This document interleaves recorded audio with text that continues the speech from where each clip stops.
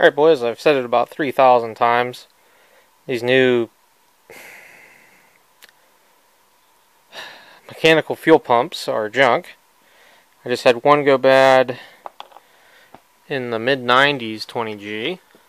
Um, it had been going bad since I owned it, but it would normally work.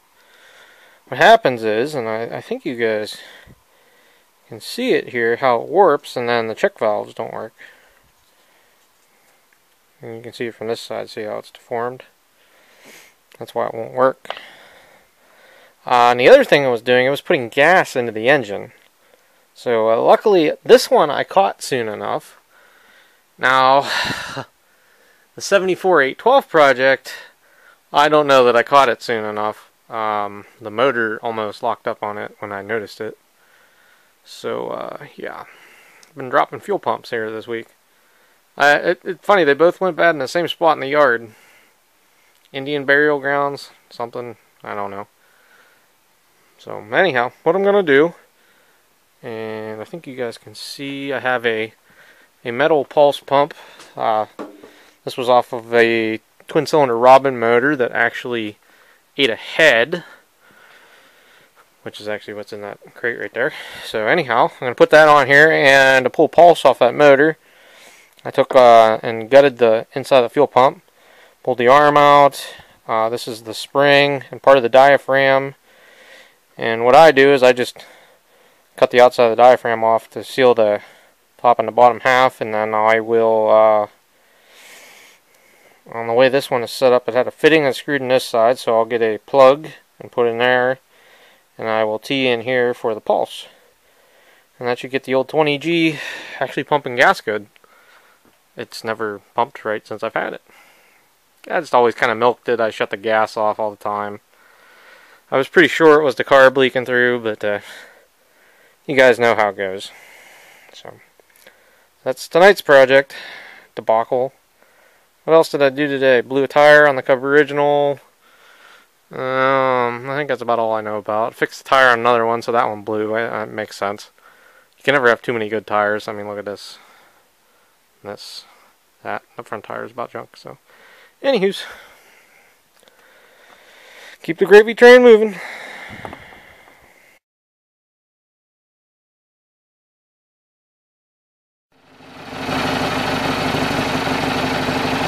There you go, there's the 20 sitting out there idling. Fuel pump is zip tied to the manifold right now, but uh, it's worked pretty good. what it really needs is a longer fuel line coming off the carb to the fuel pump, but uh, it'll work that way for a long time. One day I'll remember and order fuel line. One day. So, guess that's a wrap on this one, guys.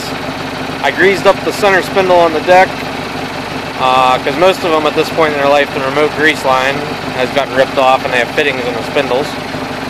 So you jack them up. I don't take my 60 inch decks off of most tractors. So that's it. And you guys can see it's pitch black. I'm not going to go out and mow right now. It's about the uh, about 8:30, 9 o'clock at night. So later, guys. To everybody on the next one. Later.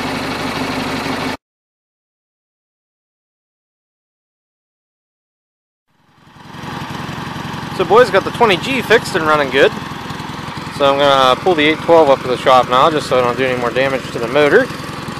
Hopefully. You guys know how that goes. Um, and yeah, uh, this one I think I'm going to rebuild the fuel pump. I have a diaphragm kit and uh, everything out in my truck. I normally kept it for plow days, but uh, when you're good tractors having issues, you do that. I also, uh, I think this has a bad head gasket. I think as well. I may or may not change the head gasket. I don't notice it all the time, so we'll see. So anyhow, we got this pushed in the shop, and that'll be today's project. It's it's too nice to be in the house. I was gonna edit videos, and it is uh, 70 some degrees right now. And it's August or August, October 28th, 9th, one of the two. So anyhow, when I get her in the shop, I'll let you guys know. Gotta drain the oil, put fresh oil in it, minimum. And uh, yeah, see what's going on with the fuel pump. I don't know if it's a new style or old style.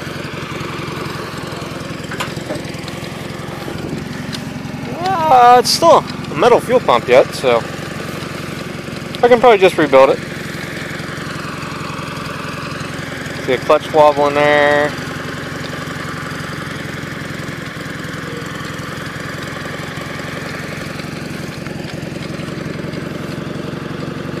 This is keyed clutches, by the way. This is not spline, so there ain't much I can do with that.